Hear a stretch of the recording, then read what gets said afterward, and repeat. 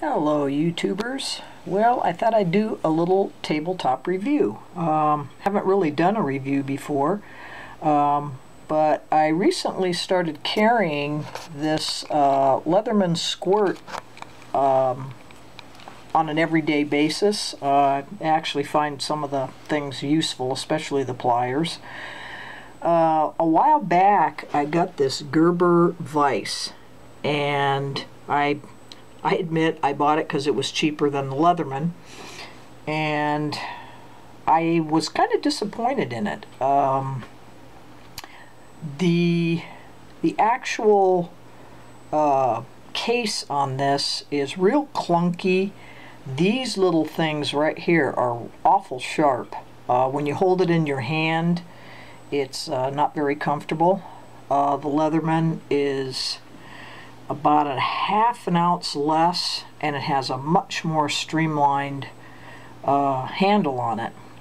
It has pretty much the same uh, tools in it. This one has a little serrated knife and a regular knife, bottle opener, and a little file and I guess this is supposed to be a screwdriver. Could maybe pass for an awl, I'm not sure uh, plus the pliers, which I can't do right now because I only got one hand.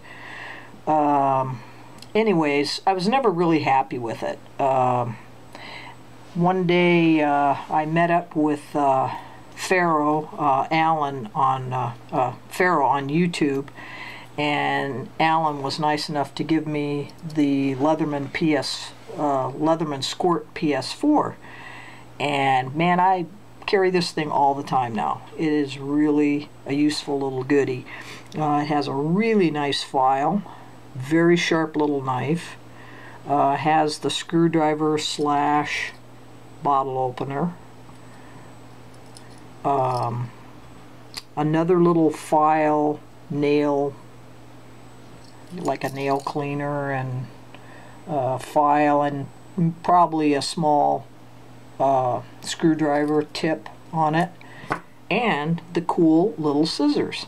Now I'm going to turn this off just for a minute and uh, open both of these up so I can do another comparison.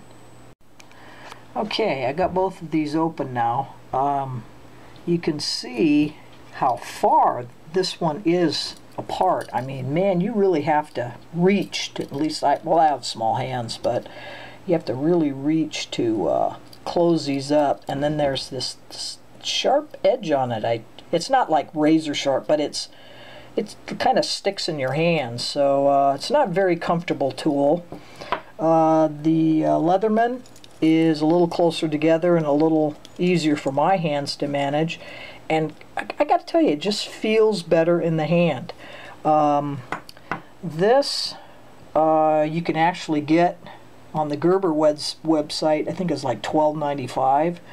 The Leathermans run right around in the $30 range. You might be able to find them cheaper different places with a search. But uh, anyways, uh, hands down, this one goes away. This one stays. Love the Leatherman. And thank you very much again, Pharaoh, for uh, giving this to me. I really, really like this a lot. Alright, well that's my first tabletop review, and I hope you liked it. Thanks for watching.